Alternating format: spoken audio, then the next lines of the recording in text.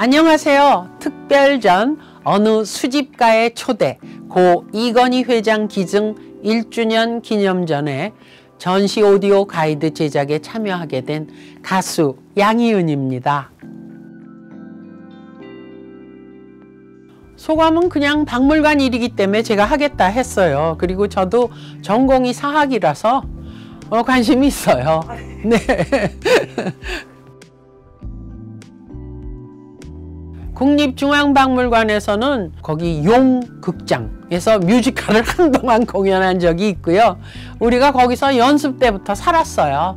그러다 보니까 아주 그냥 편하게 연습 마치고 또는 연습 전에 시간 많으니까 들러서 구경하고 그랬죠. 네.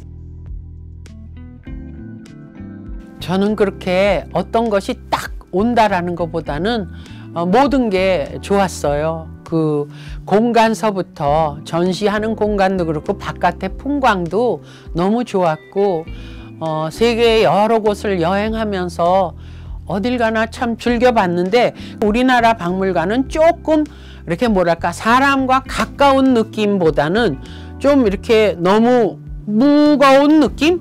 가까이 할 수 없는 그런 느낌이 느껴져서 그거를 좀 관계자들이 감안해서 그 서양도 좋은 유명한 박물관이나 뭐 이렇게 미술관을 가면 가운데 의자를 이렇게 넓은 걸 놔서 어린이들이 학교에서 관람 올 때는 막 거기 들어오는 애들도 있고 바닥에 누워서 뭐 모사하듯이 그 사람 그림을 흉내내기도 하고 그러거든요.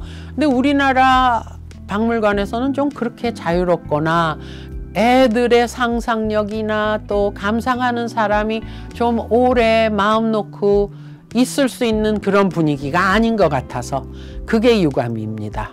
네.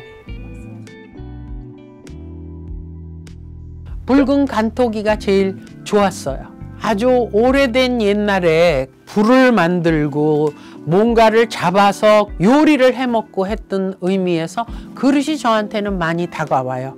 실제로 전 그릇을 진짜 좋아하고요. 어떤 소박한 느낌의 단순한 게 저는 마음에 들어오더라고요.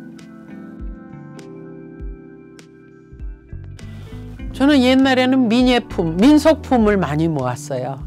그러다가 이제 제가 암 수술하고 한번 떠날 기회가 있었을 때 후배들한테 주기도 하고 또 팔기도 하고 했었는데 노래 활동이 활발해지면서는 주로 그 안경이나 또는 악세사리 무대에서 좀 눈에 띄는 이만한 것 같은 걸 벼룩시장 같은 데나 골동품 시장에서 사들이기 시작했죠. 그것도 세월이 꽤 됐는데 그게 이제 소장된 게 제법 있지만 누굴 물려준다 해도 부담스러워하고 그것을 팔자니 진가를 알 만한 사람도 없고 고민 중이에요.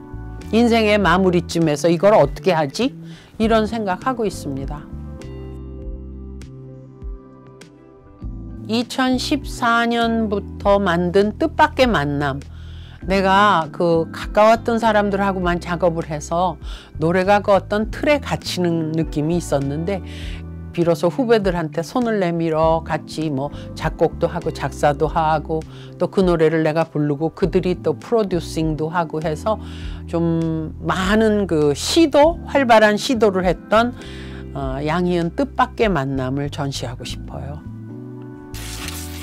특별전 어느 수집가의 초대 고 이건희 회장 기증 1주년 기념전 많은 기대와 성원 부탁드립니다.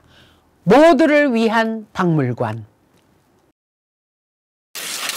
뜻밖의 만남이라는 앨범은 여러분들이 구할 수가 없어요.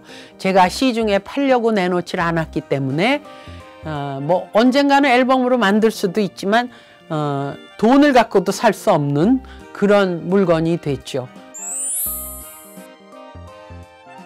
그렇죠.